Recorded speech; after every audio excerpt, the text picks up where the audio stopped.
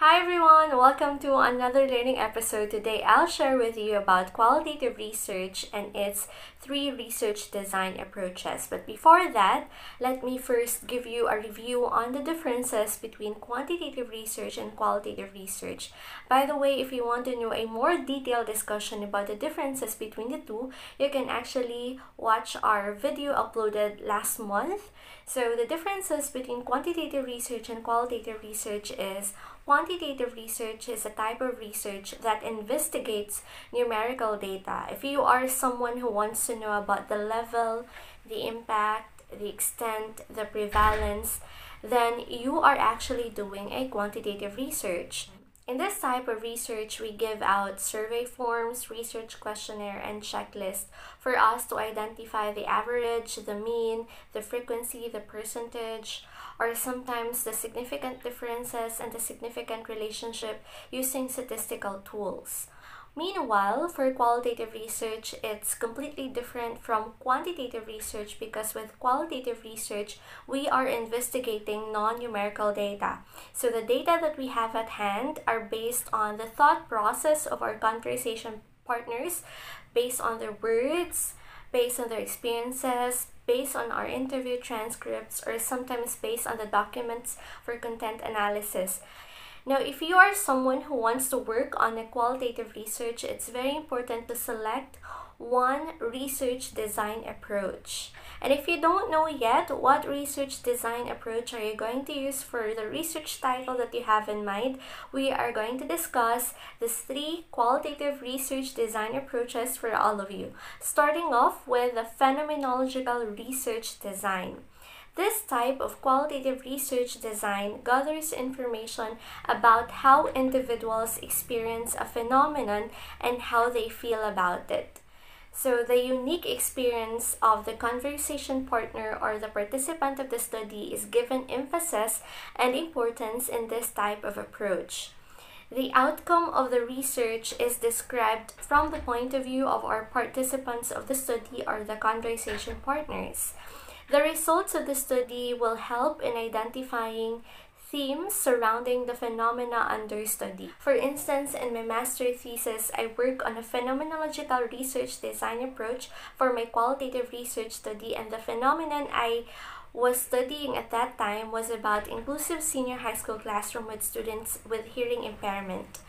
Well, you might be asking why I pursue that research title. It's because there was a literature gap at that time I couldn't find enough data about the experiences of students and teachers who handle senior high school classes with students with hearing impairment because as, as you know, we don't have specific senior high school teacher that would cater to the needs of our special education senior high school students. So I studied classrooms with two sets of group the hearing group and the other one are the students with hearing impairment. So I asked questions to students with hearing impairment as well as their teachers about their experiences in a phenomenon such as that. And then during the interview, I identified so many patterns, I identified concepts, and I learned so many things about the inclusive senior high school classroom with students with hearing impairment and that's it you can pursue that same thing. Also just find the phenomenon that you're really interested in and you find that it's very relevant and you believe that it's necessary to work on that because there's no enough literature yet or you want to dig deeper into it and understand it more. Now another research title i could provide to you guys is this one an evolving self finding meaning in near-death experiences among teenagers using phenomenological analysis. So the phenomenon under study is about near-death experiences and then the participants in the study are our teenagers who came across this or who experienced this one. And using phenomenological analysis, you are going to understand the phenomenon or the phenomena better based on the perspectives of your participants or the conversation partners of your study.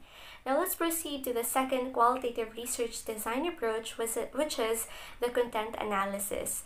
Content analysis is a methodological approach that systematically examines various types of communication such as literary pieces, documents, articles, speeches, audio and video recordings, social media posts, or any other forms of qualitative data. The main purpose of content analysis is to identify patterns, themes, specific elements, so we will be able to understand the subject matter being studied even more. So the researchers in this type of approach, content analysis approach, code and categorize the data to identify recurring words, phrases, sentences, concepts, and themes. So now I'll be providing you two research titles for content analysis approach. The first one is an analysis of selected picture books examining the portrayal of sex roles and representation of males and females. So, what qualitative data are we going to examine or investigate in the first title? Of course, it's the selected picture book books. And then we're going to figure out how the portrayal of sex roles are inhibited in the picture books and at the same time how males and females are represented. And then for the other one is investigation of nursery rhymes according to the classification of semantic fields. So these, uh, the first one is more on the gender and development and then the second one is more on the linguist, linguistic side of the content analysis. So the qualitative data we are analyzing are the nursery rhymes, and then we're going to figure out the semantic fields. The third research design approach is what we call the narrative inquiry research design. This type of approach focuses on the study of individuals and collective stories and narratives. The researcher in this type of approach use interviews, observations, and any other forms of narrative expressions.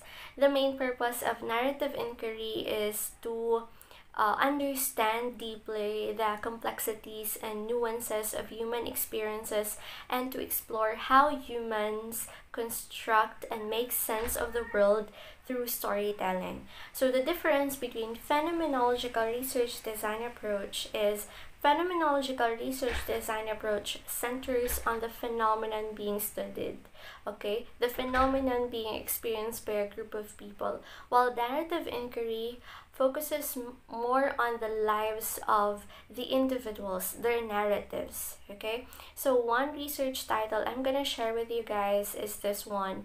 Uh, the power of resilience narratives of cancer survivors okay you can actually study group of people and then the lives of group of people and then you can also study the life of a single person. For instance in my case since i'm living in negros occidental near dr ramon bustillo hospital i'd like to know more about his life so i could work on a narrative inquiry like the narrative of the father of orthopedics because dr ramon bustillo is the father of orthopedics. I could just go to him interview him about his life and then uh, make a story out from the life of a very famous person of a person who contributed great impact in the society. So that could be narrative inquiry also.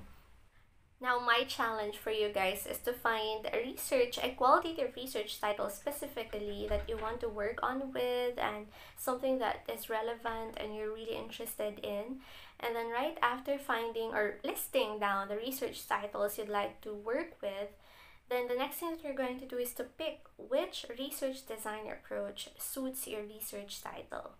So once you already pick one, then that's the time you think of the method, your research questions, or your overarching question, then proceed to working on your research paper. So I know, I hope you have learned something from this episode. See you in our next one. Bye! Keep on learning!